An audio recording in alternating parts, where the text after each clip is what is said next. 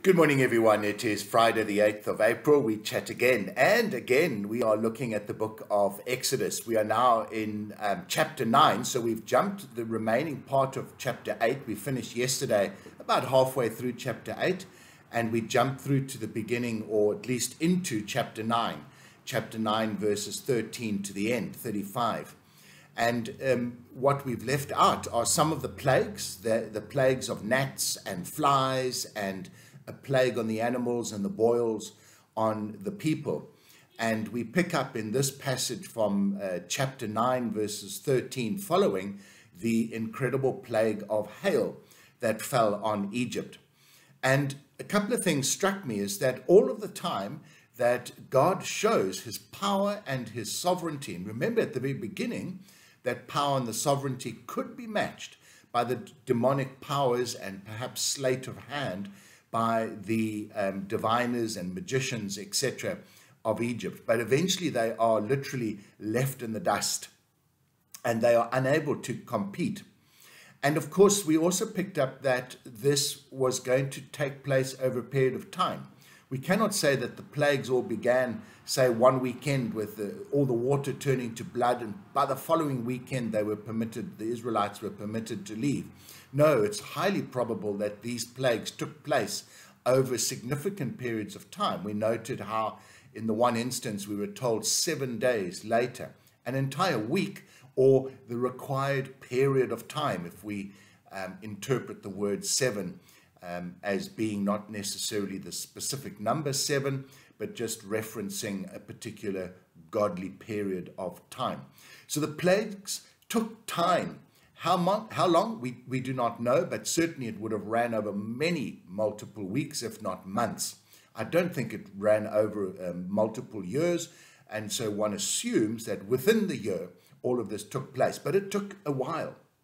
And it often um, struck me as a question what, why would it take so long? Surely, if God is God and He is God, He could bring this about quite literally overnight. So, what was the purpose? Was it, was it to evangelize? Um, the Egyptians, well, imagine evangelizing someone by throwing plagues at them. No, they were not evangelized. Egypt was always a thorn in the side of Israel, and, and Egypt becomes a, a reference to an enemy of, of Israel.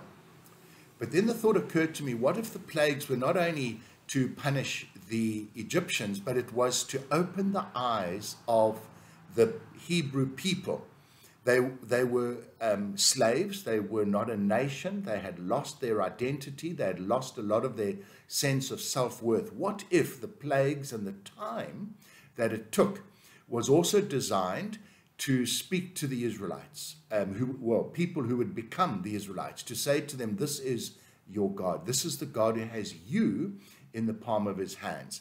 And the time is because the Israelites, these to be Israelites, needed time to figure this all out and to think about this and to make a decision. Is this the God I want to worship? What, what if I prefer the Egyptian gods? And I'm a slave, yes, but I prefer the Egyptian gods. Maybe God then, my little summary, used the plagues to speak to his own people, not to punish them, but to speak to them and to reveal his power and his sovereignty to them. So, how does this possibly relate to us? Well, in all of our lives, and we pick this up in the 2 Corinthians reading from this morning as well, where, where Paul is saying that, you know, the hardships we face might knock us down, but they never destroy us.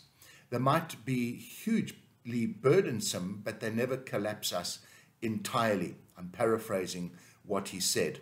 And, and the hardships we, we suffer is to show, or the death in inverted commas that we experience is actually to show the life of Christ within us.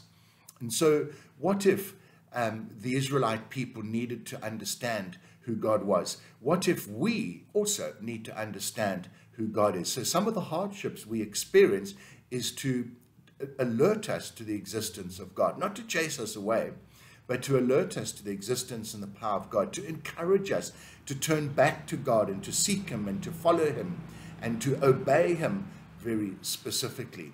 And so when hardships come, do not run away from them. Do not blame God and have a little temper tantrum, but rather use it as an opportunity that God is crying out to get your attention, Turn to Him. Put your arms out and let Him pick you up, like my grandchildren do when they're in trouble or something has gone wrong. They want to be picked up because to be in our arms as an adult is to be safe and secure. We must put our hands out to God and let our Father um, pick us up. Let our older brother, Jesus Christ, come alongside of us and say, Do not worry. Um, I will protect you. The Holy Spirit to be our advocate and to argue on our behalf against any of the vile ways in which Satan would try to destroy us.